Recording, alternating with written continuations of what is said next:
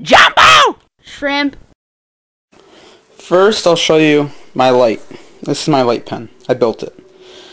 I'm using a 9 volt battery, which goes through my cool gator cord here, uh, all the way to this light, this cord, which goes into my pen.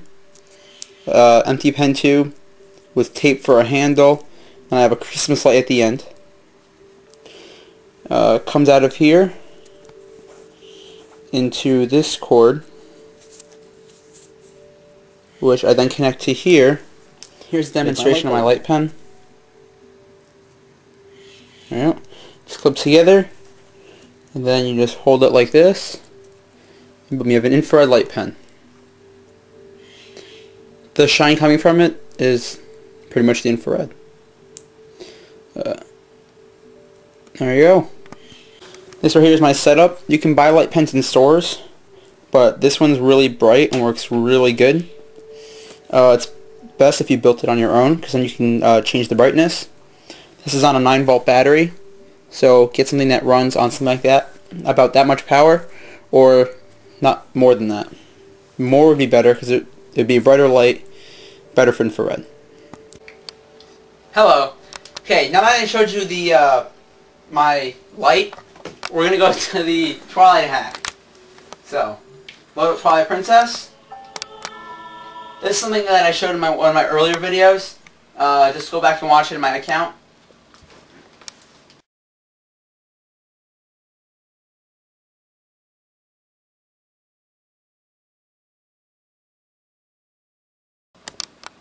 Just loading Twilight hack, Twilight hack like normal. Nothing special.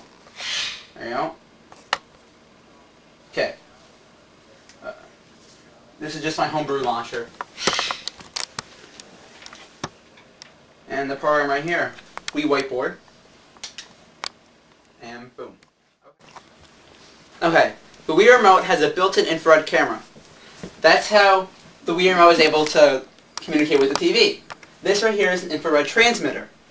So when the Wii Remote receives the, the IR into the Wii Remote, it is able to display the X and Y coordinates of your cursor on the screen. What this program does is, it uses the Wii Remote's camera to be pointing at the screen, and then whenever you have an infrared uh, signal on the TV screen, it takes that coordinate and draws a, a black pixel. In other words, whenever you drag an infrared light over this TV screen in front of this uh, infrared camera, you would be drawing on the TV. So first we're going to configure it with my, uh, first we're going to do a test. And this is my Wii Remote that I'm using for my infrared camera. So what you have to do is just aim the sensor of the TV, which I'm going to do right now.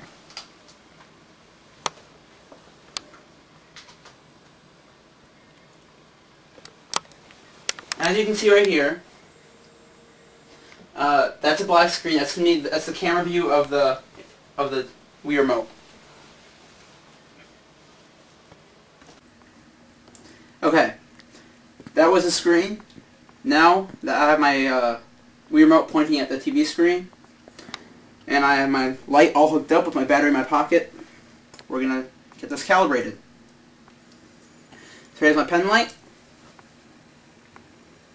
As I point on the TV screen, there's uh, the different points right here. Here. That bl moving blue dot right there, which might be hard to see in the camera. No, you see it. Is uh, the infrared of the pen. That small one that's not moving is the one of the of the infrared transmitter up here. But we're going to turn that away so it doesn't screw up with the calibrations. So now we have this right here by itself. So now we're going to use our first Wii remote right here. Press A. Now we're on the main menu here. And A again. Now we're on the calibration screen. The calibration screen is so that we can calibrate it specifically for my small, crappy TV screen here. Uh, so that when I point on here, it'll be able to accurately uh, match together.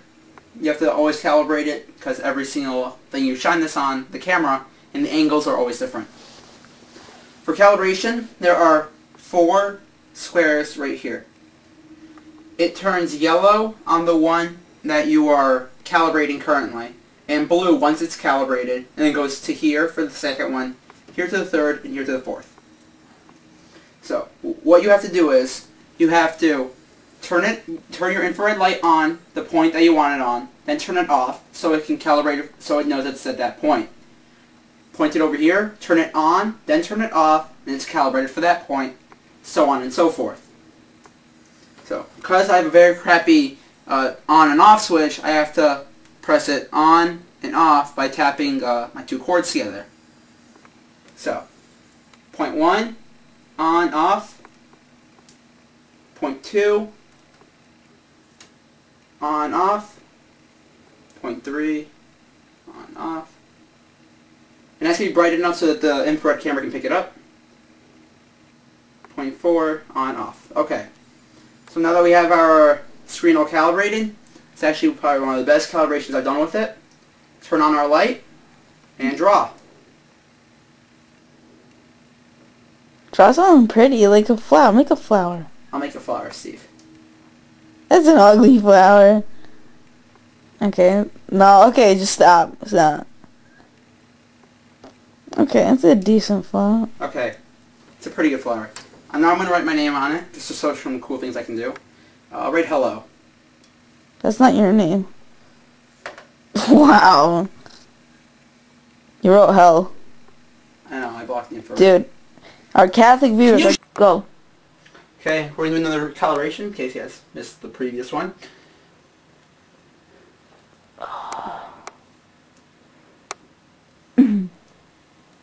Okay. So. Oh, okay, so I'll do a smiley face. Nice and easy.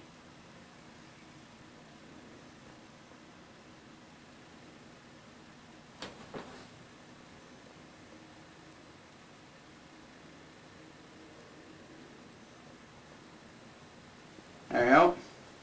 Let's get my body now.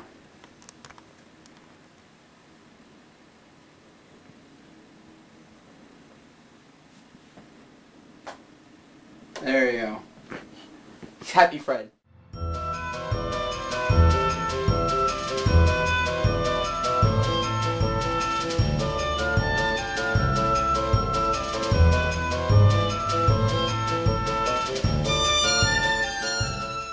You wrote hell. I know, I blocked the info. Dude. Our Catholic viewers you shut the frick up?